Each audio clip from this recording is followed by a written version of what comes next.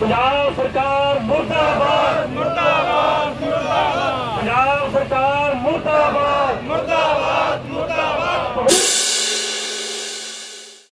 ਵਾਹਿਗੁਰੂ ਜੀ ਕਾ ਖਾਲਸਾ ਵਾਹਿਗੁਰੂ ਜੀ ਕੀ ਫਤਿਹ। ਮੇਰਾ ਨਾਮ ਜਰਿੰਦਰ ਸਿੰਘ ਪਿੰਡ ਬੀਜੀਪੁਰ ਬਲਾਕ ਖੇੜਾ ਜ਼ਿਲ੍ਹਾ ਫਤਿਹਗੜ੍ਹ ਸਾਹਿਬ ਦੇ ਵਾਸੀ ਹਾਂ ਜੀ ਅਸੀਂ। ਸੋ ਅੱਜ ਜਿਹੜਾ ਇਹ ਧਰਨਾ ਲੱਗਿਆ ਹੋਇਆ ਡੀਸੀ ਦਫ਼ਤਰ ਦੇ ਮੂਹਰੇ ਇਹ ਅਚਨਚੇਤ ਜਾਂ ਫਿਰ ਇੱਕਦਮ ਅਸੀਂ ਕੋਈ ਪਲਾਨ ਨਹੀਂ ਬਣਾਇਆ ਹੈਗਾ। ਇੱਕਦਮ ਪਹਿਲੇ ਹੀ ਹੱਲੇ ਹੀ ਅਸੀਂ ਉਹਦੇ ਧਰਨਾ ਲਾ ਬੈਠੇ ਹਾਂ। ਇਸ ਤੋਂ ਪਹਿਲਾਂ ਇਹ ਇੱਕ ਸਾਲ ਤੋਂ ਇਹ ਮਸਲਾ ਚੱਲ ਰਿਹਾ ਸਾਡੇ ਪਾਣੀ ਦਾ। ਪਿੰਡ ਦੇ ਪਾਣੀ ਦਾ ਜਿਹੜਾ ਗੰਦਾ ਜਿਹੜਾ ਪਾਣੀ ਆ, ਉਹ ਗਲੀਆਂ ਦੇ ਵਿੱਚ ਫੈਲ ਰਿਹਾ ਤੇ ਮੇਨ ਰੋਡ ਤੇ ਆ ਰਿਹਾ। ਤੇ ਉਹਨੂੰ ਲੈ ਕੇ ਅਸੀਂ ਪੰਚਾਇਤ ਤੋਂ ਲੈ ਕੇ ਡੀਸੀ ਤੱਕ ਜਿੰਨੇ ਵੀ ਅਫਸਰ ਵਿੱਚ ਆਉਂਦੇ ਨੇ, ਸਭ ਦੇ ਦਰਵਾਜ਼ੇ ਖੜਕਾਏ ਨੇ, ਪਰ ਕਿਸੇ ਨੇ ਸਾਡੀ ਨਹੀਂ ਸੁਣੀ। ਸਾਰੇ ਜਿੰਨੇ ਵੀ ਸਾਡੀਆਂ ਮਤੇ ਅਸੀਂ ਪਾ ਸਕਦੇ ਹਾਂ, ਜਿੰਨੇ ਵੀ ਐਪਲੀਕੇਸ਼ਨਾਂ ਦੇ ਸਕਦੇ ਹਾਂ ਮੇਲ ਦੇ ਰਾਹੀਂ ਸੀਐਮ ਭਗਵੰਤ ਮਾਨ ਸਾਹਿਬ ਤੱਕ ਅਸੀਂ ਇਹ ਗੱਲ ਪਹੁੰਚਾਈ ਹੈ, ਪਰ ਸਾਡੀ ਕੋਈ ਸੁਣਵਾਈ ਨਹੀਂ ਹੋਈ। ਉਸ ਨੂੰ ਲੈ ਕੇ ਅਸੀਂ ਦੋ ਧਰਨੇ ਵੀ ਲਾਏ ਜਿਸ ਦੇ ਵਿੱਚ ਬੀਡੀਪੀਓ ਸਾਡਾ, ਖੇੜੇ ਤੋਂ ਚੰਦ ਸਿੰਘ ਜੀ ਅਤੇ ਆਪਣੇ ਪੰਚਾਇਤ ਅਫਸਰ ਭਗਵਾਨ ਸਿੰਘ ਜੀ ਤੇ ਨਾਇਬ ਤਹਿਸੀਲਦਾਰ ਸਾਹਿਬ ਮੋਹਾਲੀ ਤੋਂ ਆਪਣੇ ਫਤਿਹਗੜ੍ਹ ਸਾਹਿਬ ਤੋਂ ਤੇ ਐਕਸ਼ਨ ਸਾਹਿਬ ਮੋਹਾਲੀ ਤੋਂ ਆ ਕੇ ਸਾਨੂੰ ਲਿਖਤੀ ਵੀ ਦੇ ਚੁੱਕੇ ਨੇ ਕਿ ਤੁਹਾਡਾ ਟੋਭਾ ਜਿਹੜਾ ਹੈ, ਉਹ ਨਜਾਇਜ਼ ਦੱਬਿਆ ਗਿਆ ਨਜਾਇਜ਼ ਤਰੀਕੇ ਨਾਲ ਭਰਿਆ ਗਿਆ ਹੈ। ਇਹਨਾਂ ਕੋਲ ਕੋਈ ਵੀ ਅਥਾਰਟੀ ਨਹੀਂ ਹੈਗੀ ਟੋਭੇ ਦੇ ਵਿੱਚ ਮਿੱਟੀ ਪਾਉਣ ਦੀ, ਇਹਨੂੰ ਭਰ ਦਿੰਦੀ, ਨਾ ਇਹਨਾਂ ਤੇ ਕਬਜ਼ਾ ਕਰਨ ਦੀ ਸੋ ਉਹ ਮੁੜ ਬਹਾਲ ਕੀਤਾ ਜਾਊਗਾ ਪਰ ਕੋਈ ਵੀ ਆਪਣੇ ਵਾਅਦਿਆਂ ਤੇ ਖਰਾ ਨਹੀਂ ਉਤਰਿਆ ਪੂਰ ਨਹੀਂ ਪਿਆ ਤਾਂ ਇਸ ਕਰਕੇ ਅੱਕ ਕੇ ਸਾਨੂੰ ਮਜਬੂਰਨ ਡੀਸੀ ਦਫ਼ਤਰ ਅੱਗੇ ਇਹ ਧਰਨਾ ਦੇਣਾ ਪੈ ਰਿਹਾ ਉਹ ਵੀ ਅਣਮਿੱਥੇ ਸਮੇਂ ਤੱਕ ਲਈ ਗੱਲ ਕੀਤੀ ਜਾਵੇ ਮਸਲਾ ਇਹ ਹੈ ਕਿ ਟੋਪਾ ਬੰਦ ਹੋ ਗਿਆ ਜਿਹੜਾ।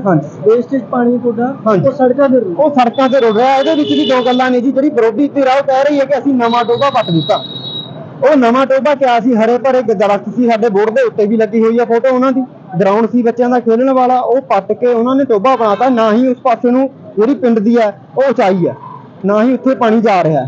ਇਸ ਕਰਕੇ ਨਾ ਤਾਂ ਸਾਡਾ ਟੋਭਾ ਰਿਹਾ, ਨਾ ਗਰਾਊਂਡ ਰਿਹਾ, ਨਾ ਹੀ ਪਾਣੀ ਦਾ ਨਿਕਾਸ ਰਿਹਾ ਜੀ। ਤੇ ਅਸੀਂ ਚਾਹੁੰਦੇ ਹਾਂ ਕਿ ਮੁੜ ਉਹੀ ਟੋਭਾ ਸਾਡਾ ਬਹਾਲ ਹੋਊਗਾ ਪੂਰਾ ਬਣਾਇਆ ਜਾਵੇ ਤੇ ਫਿਰ ਤੋਂ ਸਾਡਾ ਗਰਾਊਂਡ ਸਾਨੂੰ ਦਿੱਤਾ ਜਾਵੇ ਤੇ ਉਸ ਨਾਲ ਆਪਣਾ ਪਾਣੀ ਦਾ ਹੱਲ ਹੋ ਰਿਹਾ। ਇਹ ਧਰਨਾ ਇੱਕ ਦਿਨ ਲਈ ਹੈ ਅਨਮਿੱਤੇ ਸਮੇਂ ਇਹ ਅਣਮਿੱਥੇ ਸਮੇਂ ਲਈ ਉਦੋਂ ਤੱਕ ਹੈ ਕਿ ਜਦੋਂ ਤੱਕ ਸਾਡਾ ਟੋਭਾ ਨਹੀਂ ਪੱਟਿਆ ਜਾਂਦਾ ਜਦੋਂ ਤੱਕ ਸਾਡੇ ਪਾਣੀ ਦਾ ਹੱਲ ਨਹੀਂ ਹੁੰਦਾ ਹੈਗਾ।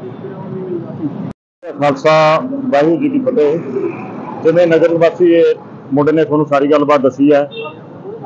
ਤਾਂ ਇੱਕ ਦੇਖੋ ਇੱਕ ਤਾਂ ਇਹਨਾਂ ਨੇ ਆਪਣੇ ਚਹੇਤਿਆਂ ਨੂੰ ਉਹ ਜਗ੍ਹਾ ਭਰ ਕੇ ਸਰਕਾਰੀ ਖਰਚੇ ਦੇ ਟੋਭਾ ਭਰ ਕੇ ਉਹਨਾਂ ਤੋਂ ਕਬਜ਼ਾ ਕਰਵਾਇਆ।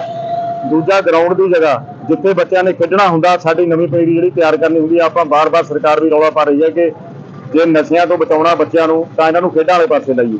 ਉਹ ਵੀ ਨੁਕਸਾਨ ਕੀਤਾ ਗਰਾਊਂਡ ਦਾ ਨੁਕਸਾਨ ਕੀਤਾ। ਤੀਜਾ ਗ੍ਰੀਨ ਗ੍ਰੀਨ ਟ੍ਰਿਬਿਊਨਲ ਦਾ ਜਿਹੜਾ ਉਹ ਵੀ ਇਹਨਾਂ ਤੇ ਕੇਸ ਬਣਦਾ, ਉੱਥੇ ਕਿੰਨੇ ਦਰਖਤ ਸੀ ਹਰੇ ਭਰੇ, ਉਹ ਇਹਨਾਂ ਨੇ ਪਟਵਾਏ ਆ ਉਹ ਵੀ ਕੰਮ ਨਜਾਇਜ਼ ਕੀਤਾ।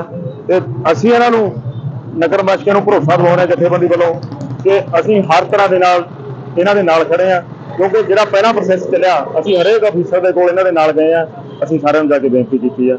ਵਾਹਿਗੁਰੂ ਜੀ ਕਾ ਖਾਲਸਾ, ਵਾਹਿਗੁਰੂ ਜੀ ਕੀ